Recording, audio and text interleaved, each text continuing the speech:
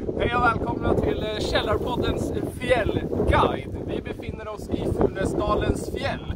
Och när man är i fjällen så är det viktigt att veta vart man är, vem man är och vad man gör så att man inte ramlar ner och dör som eh, Göran Kropp. Lektion 1 är att lära sig navigera med hjälp av faunan. Och här har vi då en så kallad fjällbjörk som bara växer på fjäll. Och att det är en björk det ser man på bladen för de är så här taggiga. Och så ser man det på stammen här. Och fjällbjörkar växer alltid på sydlig sida av fjäll. Eh, för de gillar morgonsol.